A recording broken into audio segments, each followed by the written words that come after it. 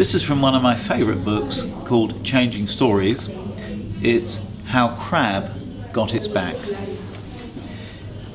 In a village, there once lived two sisters who were as different from each other as chalk from cheese. Esmeralda, the younger sister, was plain as plain could be. She was kind to everyone and worked from morning till night, scrubbing and cleaning their little house, so that it was as neat as a pin. Yolanda, the elder sister, was the most beautiful girl in the village, but she was proud and haughty, and never a finger would she lift to help her sister. One day Esmeralda went to the river to fill her goblet, and she saw, sitting at the water's edge, a strange old woman. Around the woman's waist was wrapped a towel, but her back was bare, and she was trying to scoop up water in her thin, wasted hands to wash her back. When she saw Esmeralda, she began to sing in a voice that was high and shrill. Scratch my back, daughter, wash it well with water. Esmeralda saw the old woman's back was lined and very sore, and she felt very sorry for her.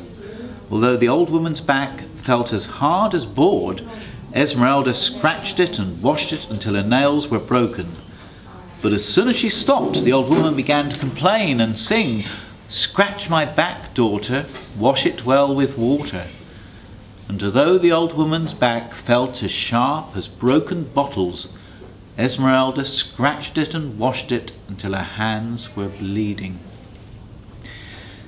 Then the old woman said in a voice as gentle as a pigeon's cooing, Child, you have been patient and kind to a miserable old woman, and I should like to give you something in return. What do you wish for most?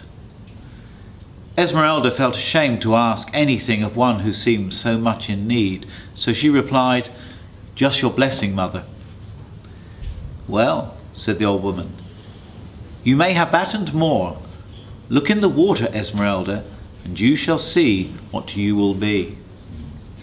Imagine Esmeralda's surprise when she looked in the water and saw not her plain face, but the most beautiful, the kindest face she had ever seen.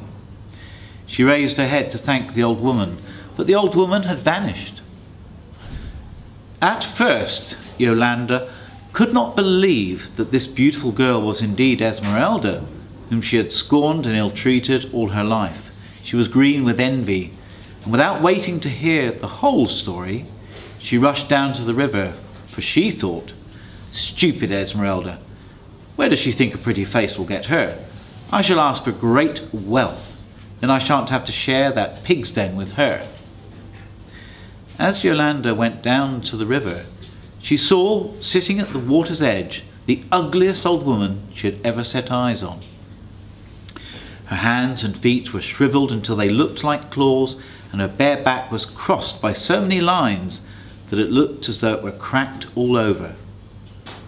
When the old woman saw Yolanda, she began to sing in a voice that was high and shrill. Scratch my back, daughter, wash it well with water. But Yolanda was in a fever of impatience to find the source of her sister's good fortune, nor did she know that she had found it, for she only had one wicked thought in her head. Out of my way, you ugly creature, she said. Do you expect me to wallow in the mud with you? Scratch your back with those claws of yours. And she pushed the old woman to one side. Insolent girl, said the woman. As you see me, so shall you be. At that moment, Yolanda became an ugly creature. Her limbs shriveled up and turned into her claws, and her back became hard and cracked all over. She cannot now bear to be seen, for she remembers that once she was beautiful. So she wallows in the mud and hides away under rocks and cliffs. And when sand and mud fill the cracks in her back and it itches, she rushes down to the river to wash it off, for no one will scratch her back. The Long Road Home by Maggie Pearson. He'd missed the last bus and it was a long walk home.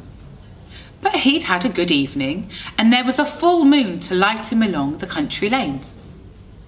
He hadn't gone but half a mile out of town when he heard footsteps behind him. He stopped, turned, and saw the owner of the footsteps had stopped too. One lad called out to him, Come on then, let's walk along together.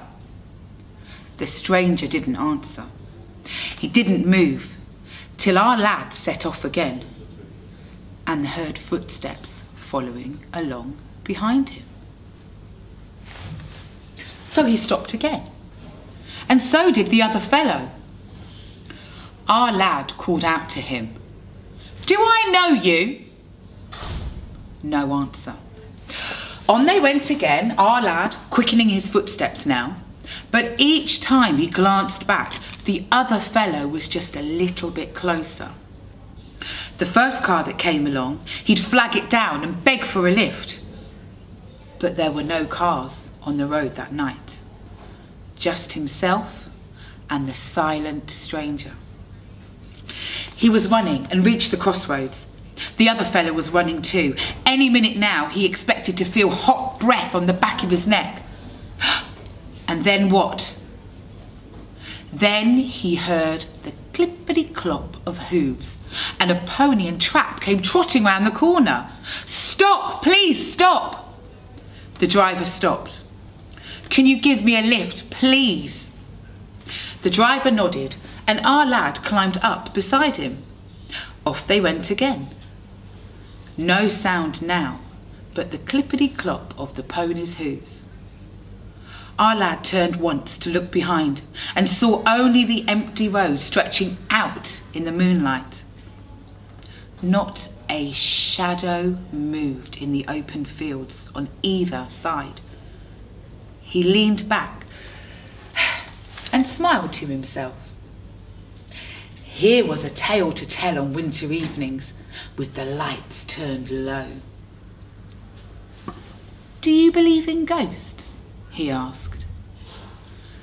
The driver turned his head towards him, and in the cold moonlight, he saw that the driver had no face.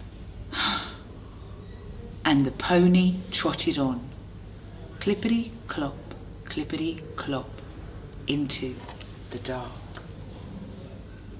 Pig by Maggie Pearson. He was Jack the Lad in his brand new company car. 0 to 60 in however many seconds. Stereo turned up full volume. Oh yes, he was somebody now, he thought, tossing his empty coke can out of the window. Pig, yelled the driver, coming the other way, having to pull hard over to avoid him. Pig yourself, he yelled back, leaning out of the window as he turned the corner. Too late, he saw the pig standing in the middle of the road.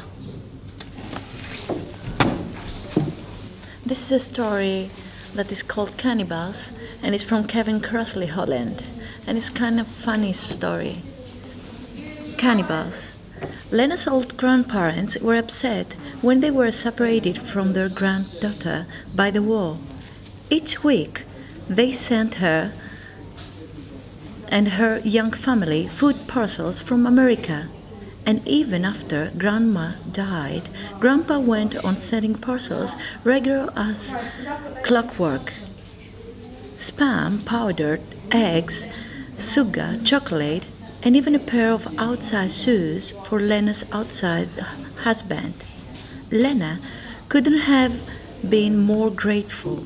My two boys are growing so fast, she thought.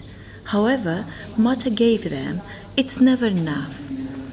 When one parcel arrived, it contained a big tin of pale gray powder without a label on it, and Lena wasn't quite sure what it was. I'll add it to the broth, she told her husband. Good idea, he said.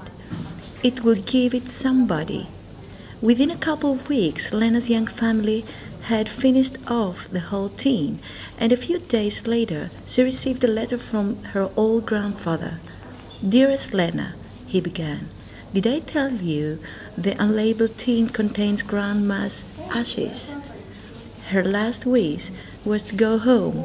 Please, can you sprinkle them around the garden she left so much? So the story is called Love and Time. Once upon a time, in an island, there lived all the feelings and emotions happiness, sadness, knowledge, and all of others, including love. One day it was announced to them that the island would sink, so all constructed boats and left, except for love. Love wanted to hold out until the last possible moment. When the island had almost sunk, Love decided to ask for help. Richness was passing by Love in a boat. Love said, Richness, can you take me with you? Richness answered, Sorry, love, I can't. There is a lot of gold and silver in my boat, and so there is no place here for you. Love next asked Vanity, who was also sailing by. Vanity was also ready with the same answer. I can't help you, love. You're all wet and might damage my boat, Vanity answered. Sadness was close by, so Love asked, Sadness, take me along with you. Oh, love, I'm so sad that I need to be by myself, Sadness said in a sullen voice. Happiness passed by love too, but she was so preoccupied with her happiness that she did not even hear when love called her. Suddenly there was a voice. Come, love, I will take you. It was an elder. An overjoyed love jumped up into the boat and in the process forgot to ask where they were going. When they arrived at dry land, the elder went in her own way. Realizing how much was out of elder, Love asked Knowledge, who was another elder, Who helped me? It was time, Knowledge answered. Time? thought Love. Then, as if reading the face of Love, Knowledge smiled and answered, because only time is capable of understanding how valuable love is. Princess the Wee by Hilda Parkin. Far away and long, long ago, the kingdom of Splod's in a terrible mess. It's lost Lucinda, its princess. The reason for this nasty hitch? She was stolen, aged two, by a wicked witch. Thirteen years later, the heralds shout, We need a princess, we're all out. And every lass in the land says, Ee, diamonds and palaces sounds like me. So into Splod stream 2,000 lasses, in teams and ranks and squads and masses. And they stand and scream at the palace gate, I were nicked by a witch, oh cruel fate. The king calls his guards and says, Hey boys, I can't be having with all this noise. Either chase them away with a knotty stick, or find me the real princess right quick. As it happened, Lucinda were there in the throng, eating an ice cream, but eating it wrong. So it dribbled and made a right mess of her skirt. And she said, someone will wash it off, a splash won't hurt. Some princesses are daft, and others are dafter, but all of them are used to being cleaned up after. The trumpet sounded, the heralds roared. The king stuck his head out, looking bored. He said, We'll find out who plays the princess best by letting you all take a tiny wee test. At supper that night, every mother's daughter was compelled to drink four jugs of water, then given a lovely room to be in, but without a sign of a lav to wee in. In the middle of the night, they were half insane, running in the corridors, roaring with pain. It's a lovely bed, and I mustn't spoil it, cried the would-be princess. Where's the toilet? In all this racket, though, one girl lay still. Lucinda, the princess, had drunk her fill. Now she lay in a pool of wee, thinking, someone will come and clean up after me. Next morning the king cried, Lucinda, my pippin. That's me, said Lucinda, standing there dripping. Hey up, I seem to be soaking wet. Well, someone will come and dry me, I bet. The real thing, cried the king through his happy tears, and they both lived happily ever after for years and years. The mirror. They did have other things. They had sky dragons. They had pale porcelain bowls that sang with piping blue voices. They had clicking ivy characters and bearded calligraphers. But in that far off village and far off time, they had no mirrors. No mirrors at all. Most people had never even heard of them. The young farmer had heard about mirrors, though, and he wanted to give one to his young bride so she could see what others saw the crescent of her eyebrows, the yellow, black, and misty eyes. So the young man sold one of his three cows, and he walked for three days to the great city, and used almost all his money to buy a mirror. Moonrise and sunset. In giving birth to her first child, a daughter, the young wife died. Then her husband could not bear even to look at the mirror. He hid it away at the bottom of an old trunk. As she grew up, his daughter sometimes asked people about her mother. You are beautiful in the same strange way she was, they told her. The same eyebrows and the eyes here, the little crease in the corner of your mouth. 15, 16. One day, when the girl was 17, she started rooting around in the attic looking for something different to wear. But when she found at the bottom of the old trunk was her mother's mirror. The girl looked into it. She looked, and then she ran down to her father. I found her, she cried. She's still here. You should have told me, look. But her father did not look, and his love and pain was so great that at first he could not cry. Sunset and moonrise. The man held his shining daughter in his arms. The Scorpion and the Frog by Maggie Pearson. A frog sat sunning himself on a lily pad in the cool morning mist. Later the sun would grow too hot, he'd crawl away and find himself a patch of shade. Before the moment, life was good. Life was just perfect. Mr. Frog! Mr. Frog! Excuse me, Mr. Frog.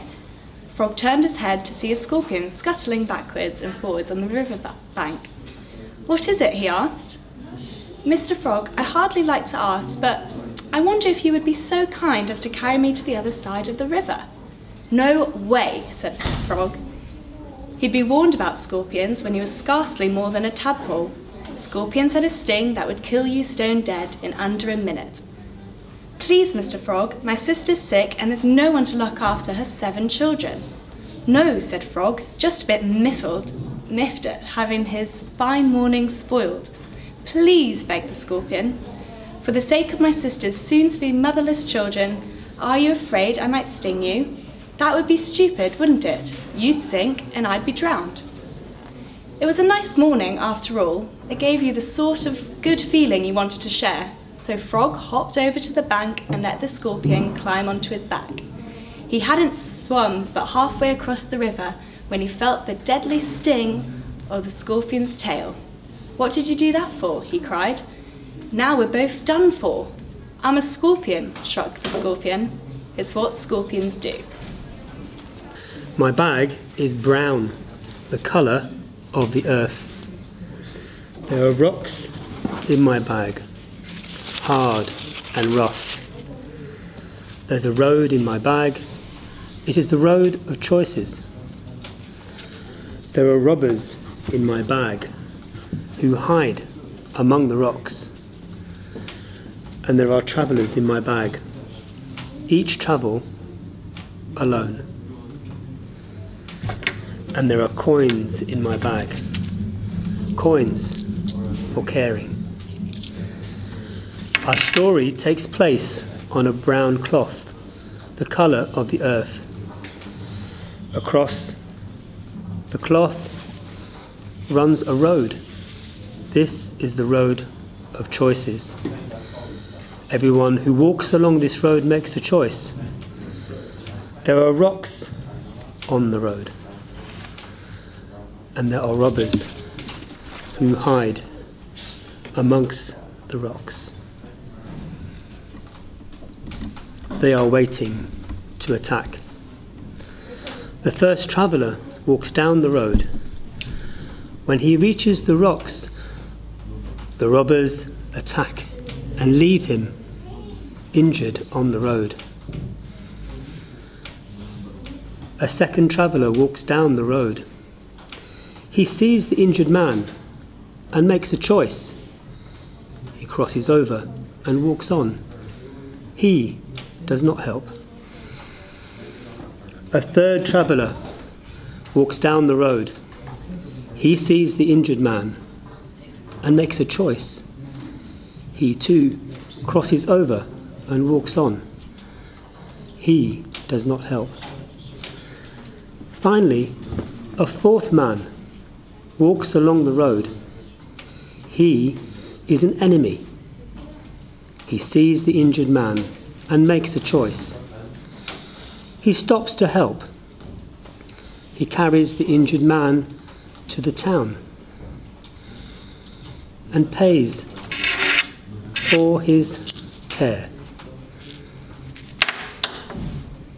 Each person made a choice. Their choices show us what sort of people they are. We too make choices as we walk through life. Our choices show what sort of people we are. The Timely Warning by Louise Cooper. The coach rumbled along the dark road. It was pouring, and the rain danced and glittered in the headlights, making it hard to see anything through the windscreen. Bert, the driver, was concentrating grimly. Beside him, Maggie, the tour guide, felt nervous. Their party had been on an outing, but there was a diversion on the main road, so they had had to come back on these unfamiliar country lanes. Bert was a very good driver, but in weather like this, who knew what hazards there might be? The rain was heavier than ever now. Reminds me of one time when I went out with my dad, said Bert. His father had been a coach driver too, and when Bert was a boy, he had sometimes travelled with him. Filthy night it was. We were lucky to get home. Maggie shivered. She didn't want to hear stories like that. She glimpsed lights up ahead. There's something coming, she pointed. Is the road wide enough for us to pass? Should be, said Bert. The headlights were drawing closer, and suddenly they started to flash. Uh oh, said Bert. What's this trouble? He slowed right down. Through the rain, Maggie saw another coach coming towards them, an old fashioned one, with the name Paul's Tours painted across the front.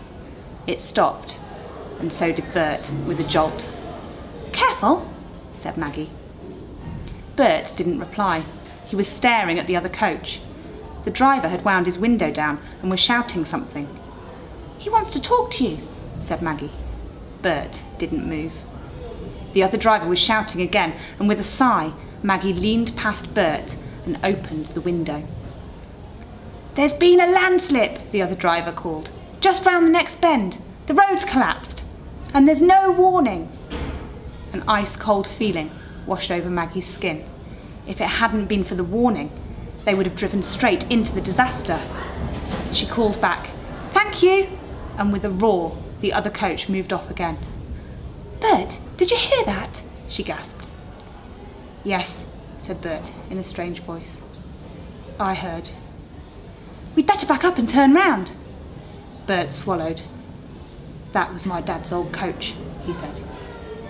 Good heavens! Still running after all these years? You don't understand, said Bert. It wasn't just Dad's coach.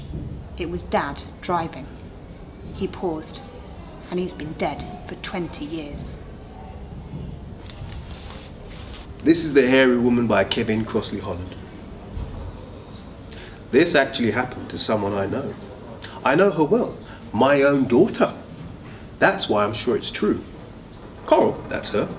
She was down at the supermarket for the weekly shop, Friday, five-ish. It's always crowded, she says, but she works until half past four, so she can't go before that. Coral's in the car park. She just loaded all the plastic bags into the boot when a big woman lurched up to her. You know, a bit of a lump, specs, powerful eyebrows. She was wearing a long, dark skirt. Give me a lift, love, the woman asked. Just down to the bus stop. I've only got this one bag, but it's that heavy. Hop in, said my daughter. You can put your bag on the back seat. But halfway down the road, Coral saw how big and blunt and rough the woman's fingertips were. And then she looked down below. Below her dark skirt and above her boots, her passenger had hairy, muscular legs and a shining knife was taped to the right one. Cor My God, she didn't half think fast. She braked, she braked hard. Hang on, she exclaimed. There's my dad, that policeman. Her passenger didn't hang around. He swung the door open and scrambled out. He scrambled out so fast, he forgot his canvas bag. You know what was in it? A hammer, yes, and a wicked axe, and a sharp toothed saw. This is a story from Changing Stories, a collection of folk and fairy tales, often with a twist. This one is called Red Riding Hood. One afternoon, a big wolf waited in a dark forest for a little girl to come along carrying a basket of food to her grandmother. Finally, a little girl did come along and she was carrying a basket of food. Are you carrying that basket of food to your grandmother? growled the wolf. The little girl says, yes, she was. So the wolf asked her where her grandmother lived, and the little girl told him, and he disappeared into the wood. When the little girl opened the door of her grandmother's house, she saw there was somebody in bed with a nightcap on. She had approached no nearer than 25 feet from the bed when she saw it was not her grandmother but the wolf. For even in a nightcap, a wolf doesn't look any more like your grandmother than Mickey Mouse looks like the Prime Minister. So, the little girl took an automatic out of her basket and shot the wolf dead. Moral, it is not so easy to fool little girls nowadays as it used to be. I'm reading a story called Woohoo by Maggie Pearson. An old woman sat by the fire alone, and she was sick of it. Night after night her old man went todding off to the pub and never came back till past closing time. I'll teach him, she muttered. I'll fright him so he'll never go out after dark again. She took an old sheet and she cut two eye holes in it. Then she flung it overhead head and hurried down to the porch and waited for the old man to come wandering by on his own. Out she popped, wearing that old sheet, waving her arms about and crying, Woohoo! Woohoo! The old man stopped. He turned to look at her. He smiled. Is it you again, you old ghost? he said. And tonight you brought a friend along to keep you company. That's nice. Behind her, the old woman heard a voice whispering, Woohoo! Woohoo! The Two Husbands by Maggie Pearson. Men, said Molly. They are so stupid. Tell me about it, said Polly. My husband will believe anything I tell him. He can't be stupider than mine. Oh no. When Molly got home to her husband, Happy birthday, she said. Is it my birthday? He opened the box she gave him. It looked empty. Don't you like the new suit I bought you? she said. Let me help you on with it. There you go. Light as a feather, isn't it? Hmm, very nice. Very smart, says he, strutting around the house in his underwear. Meanwhile, Polly goes home, takes one look at her husband and says, You should be in bed. Should I? he says. You're ill, maybe even dying. Next morning, just as I feared, you're dead, she says. Am I? says he. Oh, I suppose you're right. And lies down in the coffin, good as gold, while she phones up all their friends and relations to come to the wake. First outing for Molly's husband, fine. New invisible suit. All the friends and relatives, well, they know it's supposed to be a sad occasion. But walking around in his underwear, you've got to laugh, haven't you?